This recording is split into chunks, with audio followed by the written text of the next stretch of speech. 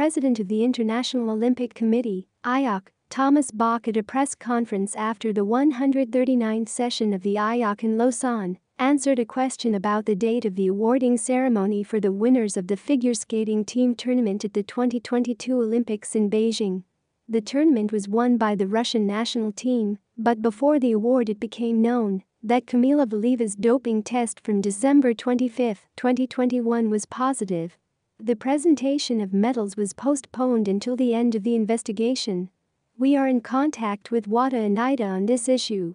The matter is under the control of anti-doping services, the IOC has nothing to do with this.